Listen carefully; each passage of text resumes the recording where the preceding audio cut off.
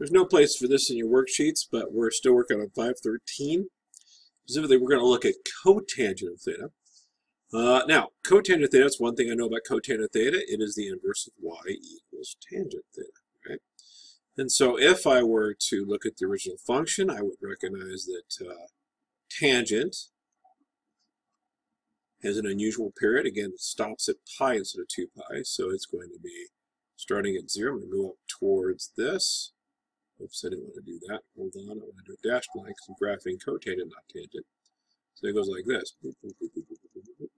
Then it has an asymptote through here, and then hooks back into here. Now we use the same reasoning we used before. Where tangent 0, 1 over 0 is going to be an asymptote, right? So I'm going to go ahead and graph an asymptote. And where it's an asymptote, this is weird. Asymptotes are some number over zero. So when you flip them, it becomes zero over some number over zero, right? So therefore, where tangent has an asymptote, cotangent is going to have a zero, or a point right here, right? And then where tangent is zero, we're going to have an asymptote again.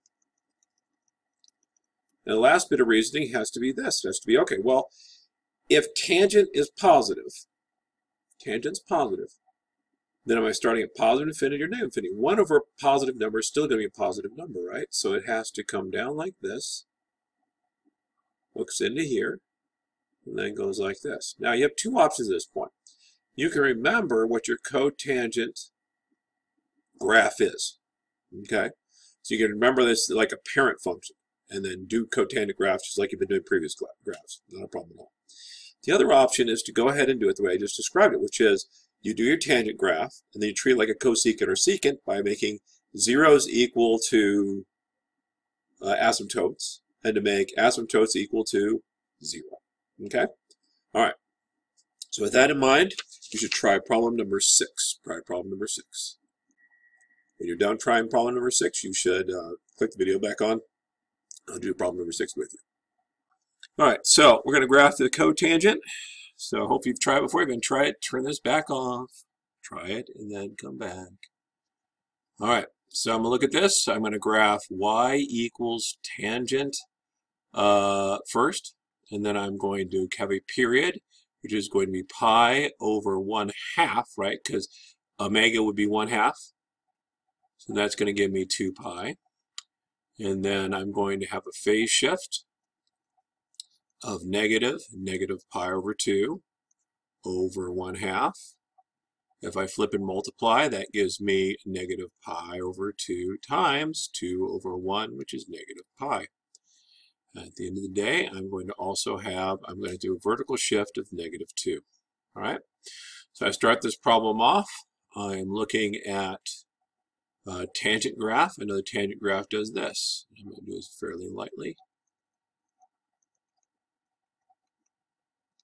I'm sketching it in, right? Goes to infinity, then starts at negative infinity, goes into pi, and stops. We're all good. Okay, so now my period is going to be pi instead. So instead of doing that, I'm going to do it at pi. So I'm going to scroll this up. I'm going to go like this. And it's going to look like this instead, right, as I go into pi. Now, phase shift of negative pi means instead of, I'm going to move everything pi over to the left. So I'm going to move this point here to here. I'm going to move this point, which is an asymptote. I'm going to move my asymptote to the middle. I'm going to move this point here to here, right? So my graph ultimately ends up looking like this.